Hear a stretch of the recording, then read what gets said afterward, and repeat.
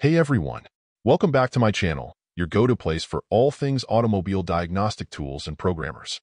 If you're passionate about understanding your vehicle and keeping it in top condition, you're in the right place. Before we dive in, smash that subscribe button, click the bell icon, and if you love our content, give us a super thanks to support the channel. Let's get started. OBDSTAR MT203 CAN Driver Slash Gateway Simulator User Guide.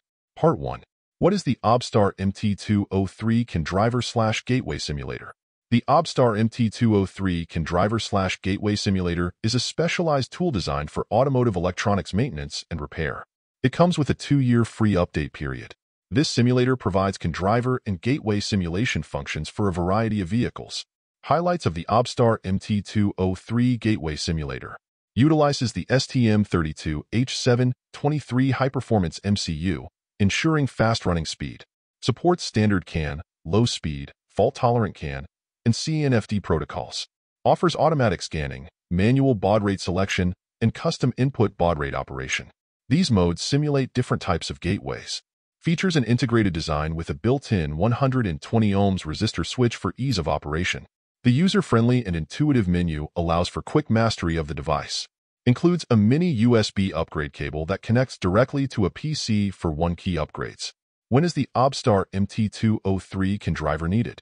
For automotive electronic ECU repairs such as airbag, dash, BCM, and other module simulation gateway diagnostic tests conducted on a bench. For automotive electronic ECU repairs involving the dash, audio, gear lever, AC panel, and other modules, using CAN drive tests on a bench. For e-car component repairs like compressors, DC-DCs, onboard chargers, and other modules using simulation gateway diagnostic tests conducted on a bench. Supported models by OBDSTAR MT203. The MT203 supports dash, audio, gear lever, AC panel, and other test functions for the following models. Audi, Ford, Porsche, Benz, Jaguar, Rolls-Royce, BMW, Lamborghini, Volkswagen, Dodge, Land Rover, and Volvo. Supported protocol types slash functions by OBDSTAR MT203. The MT203 supports dash, audio, gear lever, AC panel, and other test functions for the following models. Audi, Ford, Porsche, Benz, Jaguar, Rolls-Royce, BMW, Lamborghini, Volkswagen, Dodge, Land Rover, and Volvo. Supported protocol types slash functions by OBDSTAR MT203. 1. Gateway supported protocols. Standard CAN slash standard CAN. 500K slash 250K. 500K slash 125K. Custom baud rate. Standard CAN slash tolerant CAN. 500K slash 83.3K. 500K slash 100K. 500K slash 125K. 125K slash 125K. Custom baud rate. Standard CAN slash CAN FD.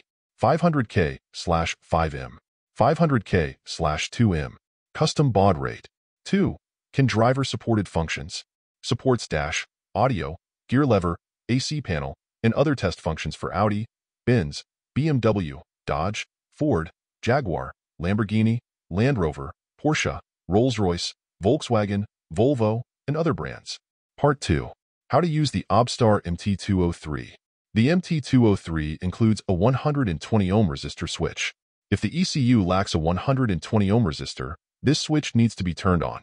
The device also has four cables, power cable, GND cable, CAN low, and CAN high. 1. Plug in the 12V power supply. 2. Connect the OBD female connector to the diagnostic connector. 3. The device offers gateway simulation and CAN driver functions. Using the gateway function, 1. Select Gateway. Review the note of caution. 2. Select Auto Scan. This function supports standard CAN and tolerant CAN. Begin with operating the standard CAN. The device recognizes that the BYD E6 compressor's baud rate is 250K. Press ENT to start the simulation. Check the diagnostic tool for system access. If the simulation is successful, the three points will rotate in a loop. If they stop, the simulation has failed. 3. Operate manual setting. Supports standard CAN, tolerant CAN, and CAN FD. For standard CAN, select standard CAN and then custom baud rate, setting it as needed. Enter the correct baud rate and press ENT. For tolerant CAN, select auto scan, tolerant CAN scan. If recognized successfully, use the diagnostic tool to read the fault code. For CAN-FD, note that it does not support automatic scanning. Select Manual Setting with the pre-tested baud rate, and then read the fault code with the diagnostic scanner. Using the CAN driver function, check the menu for various drive tests. For example, to perform a dashboard drive test, open the OBDSTAR app on an Android slash iOS smartphone to get the wiring diagram for the module. Follow the diagram to connect the MT203 and dashboard drive correctly. Press ENT on the MT203 device to light up the dashboard. Press ESC to put the dashboard into sleep mode. Part 3. OBDSTAR MT203 FAQs. Q1. Can the device be upgraded? A1. Yes. Download the software from the official website under Service Download 1 Click Upgrade Tool and connect the device to the computer via USB to upgrade. Q2. Why does the automatic scanning fail? A2. Several factors can influence automatic scanning success. Ensure correct connection between the diagnostic instrument and ECU, and power up the ECU before scanning. If the ECU enters hibernation mode after being powered on for some time without communication, repower it. Some ECUs do not actively send CAN signals, requiring manual device settings. CAN-FD does not support automatic scanning and must be set manually. Q3. Where can the wiring diagram of the CAN driver be checked? A 3. Download the OBDSTAR app from the Apple Store or Google Play Store. The app contains wiring diagrams for dash, audio, gear lever, etc. Q4.